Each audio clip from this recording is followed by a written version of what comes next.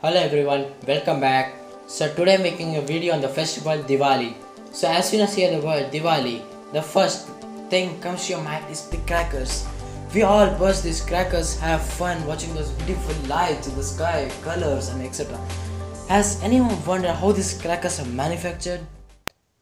These crackers are manufactured by people who doesn't have sufficient money for their needs. The manufacturers just tell them that they'll give food, shelter, and money just rupees 50 is sufficient for them. They just manufacture for the money, guys, and they work with a bare hand. They doesn't even provide any sort of gloves or any safety precautions.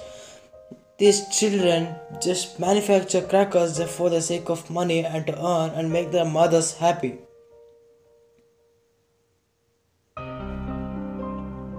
You can see just they're not even wearing gloves, guys. You can see how the whole hand is covered with chemicals. They use certain chemicals to produce lights which we enjoy.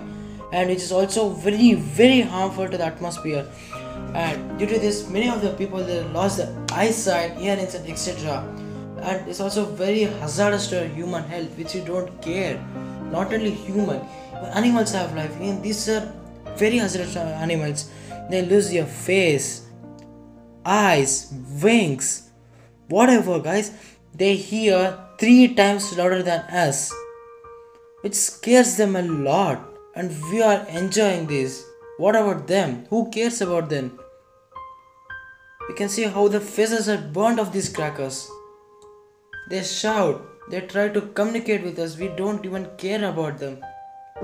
What about cats? When those when these animals suffer,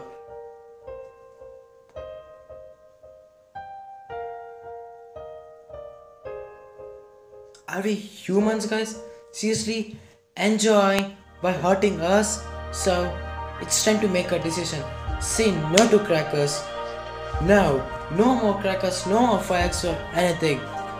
To save poor eyesight, nose and everything.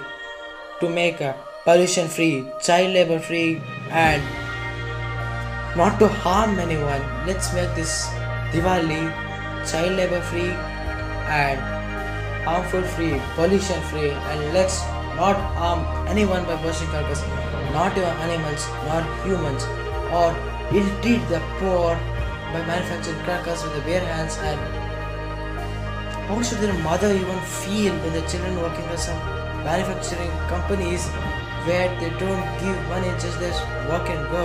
So it's time to make a decision. Let's make this Diwali a pollution free smoke free toxic free and a safe and happy Diwali guys let's say no to crackers let's save many of the people's life and Happy Diwali and have a beautiful day. Thank you for watching. Please do subscribe and like to comment.